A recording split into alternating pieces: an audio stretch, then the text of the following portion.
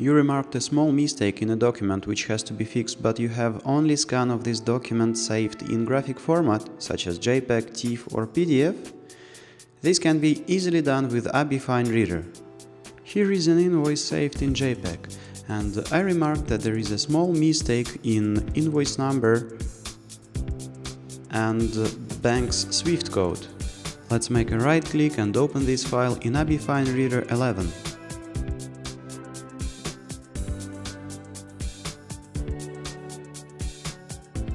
Now we mark the whole page as a picture.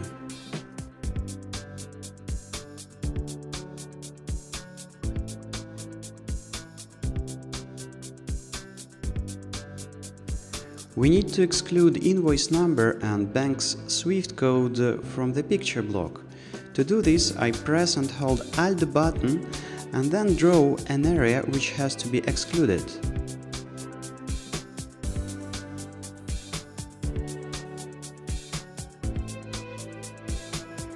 Invoice number and bank SWIFT code which we would like to edit should be marked with uh, text blocks.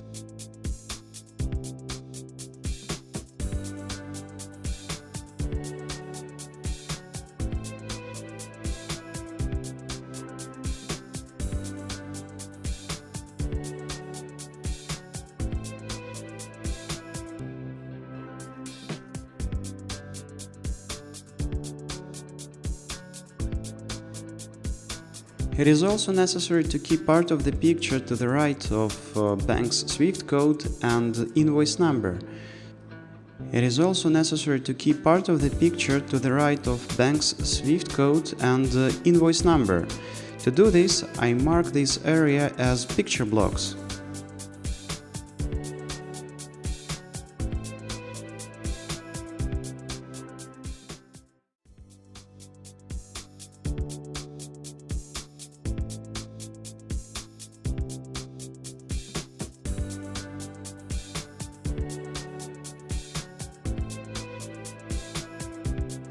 And now let's launch recognition.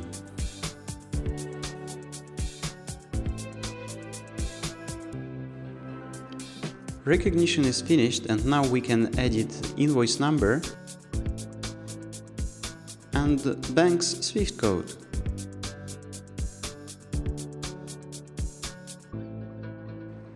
The next step is save our document in Microsoft Word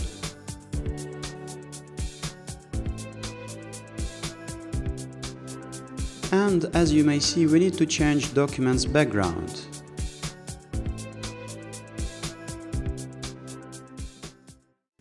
Background color of the invoice number and bank SWIFT code also has to be changed.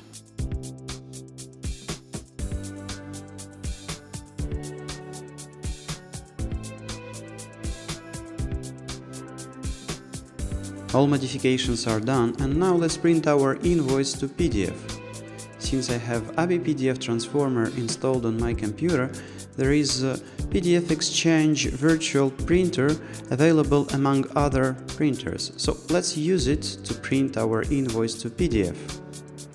To print gray background of our invoice, it is necessary to switch on Print Background Colors and Images option, and then we send our invoice for printing.